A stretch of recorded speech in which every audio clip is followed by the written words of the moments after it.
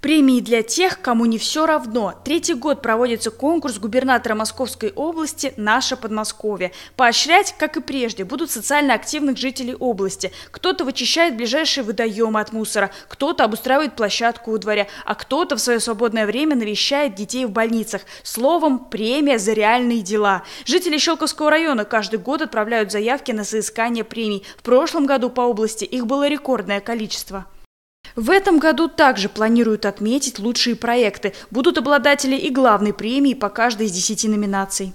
Один из заявителей на соискание премии – детская художественная школа Щелковского района. Она предлагает на суд жюри три проекта. Один из них участвует в номинации «Культ просвет». Это познавательно-исследовательский проект по формированию у обучающихся картины мира средствами моделирования пространства. Он называется «Щелково. Моя малая родина».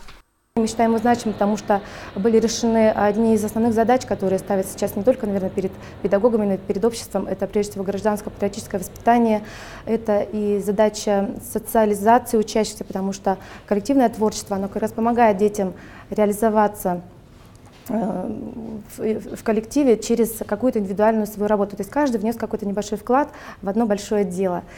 Э, и, конечно, это задача художественного развития, потому что мы дали детям основы макетирования, моделирования, Учащиеся первой смены летнего лагеря художественной школы создали макет города в разных изобразительных техниках. Здесь и историко-краеведческий музей, и фабрика техноткань, и Чкаловский аэродром, и городские многоэтажки, и набережная Клязьма, и даже самолеты в небе. Словом, все известные и малоизвестные объекты города. В качестве материалов участники использовали подручные средства. Например, в основу макета легли различные ткани, символ ткачества. В небо запущен бумажный самолет, но не какой-либо, а Ан-25, прототип того самого, который которым командовал Валерий Чкалов.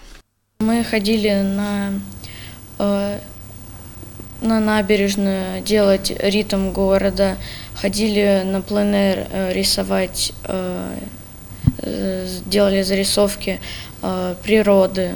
Больше понравилось, как мы команды сделали разные проекты. Идея проекта родилась на основе наблюдений, бесед с детьми и зарисовок во время прогулок. Перед каждой из них обязательно подготовка. Это и сбор информации, и презентации, и командная работа. Обязательно экскурсии, исследование объектов на территории. А в сумме каждый из 50 участников приложил руку к созданию макета. Я узнал, что Краеведческий музей не всегда был э, музеем. До этого он был э, книжным магазином, военным лазаретом сороковые. Одной из задач педагогов было, конечно, учить детей наблюдать. Э, то есть э, взгляд художника, он отличается от взгляда обычного человека в чем-то, а, потому что художник старается увидеть э, в этом мире эм, какую-то гармонию форм, цвета, увидеть взаимосвязь объектов.